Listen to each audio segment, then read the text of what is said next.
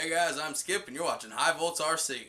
Today we're going to be unboxing a Tamiya M06 chassis kit. So this is a kit car. it's got the Volkswagen Beetle body on it. It's a really nice little kit, so um, stick around, it's going to be a good one.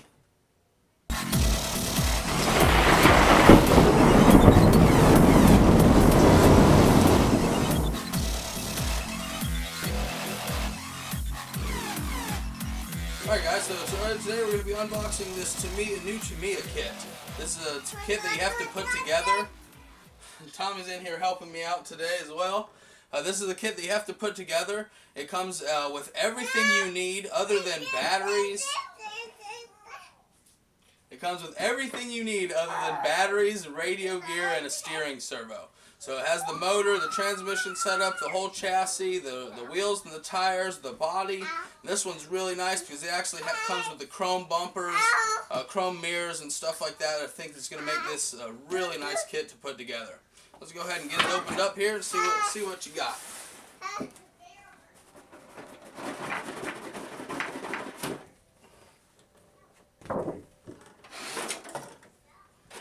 First up is that body shell. That that this Volkswagen body shell looks absolutely great. Can't wait to put this thing together and add it to my Tamiya collection. This will be the third one I have now.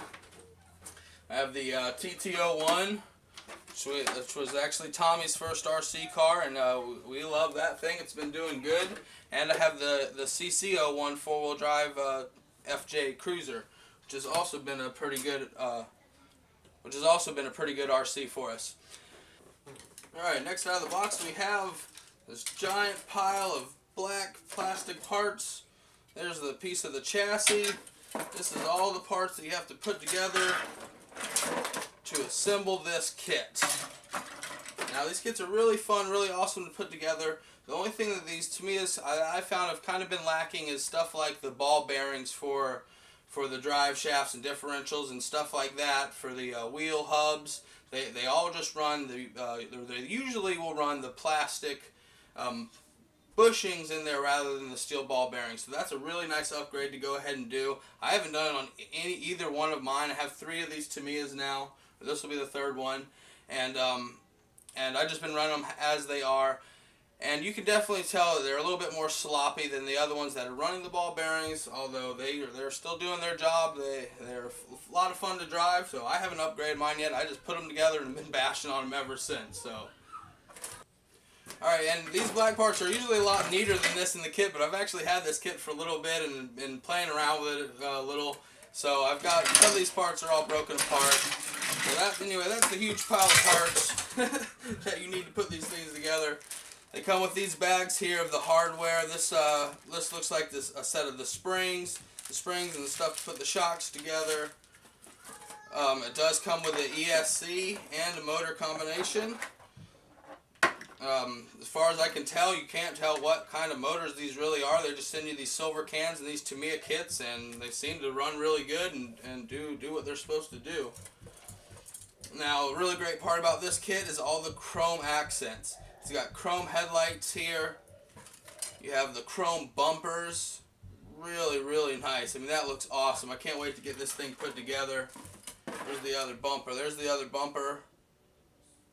Very, very good looking parts. And here's the wheels. Check out this wheel and tire combination. Looks exactly like what the stock Volkswagen Bug would have had back then. And, and it's absolutely awesome. Now it also comes with two different stickinesses of tires or whatever however you want to say it. The I believe the back set is a very very soft, very sticky tire that you run on the back for traction and in the front it's a more hard um, a more hard compound that's not as sticky. They look exactly the same, but you can definitely tell there's a there's a big difference in the two. Here's some more body parts We've got the uh, white body parts there that'll do some, uh, there's like for the hood or the rear trunk latch is in there and some other parts I'm sure will accent it.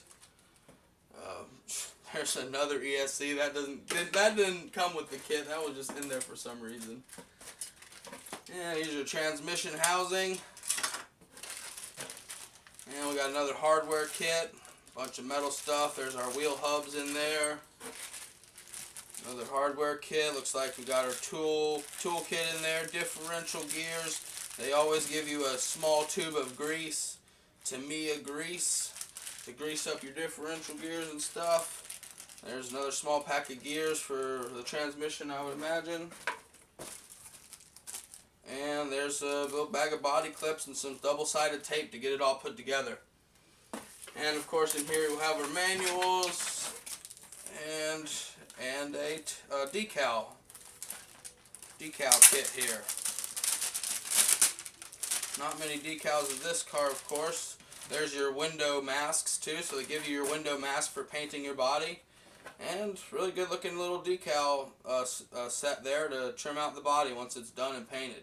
So very cool. I'm definitely impressed with this kit and I can't wait to get it together and get some bashing done for you guys. I'm going to do some on-road stuff with this car and leave it stock and then try to modify it a little bit and uh, see if we can make like a Baja bug with it or something.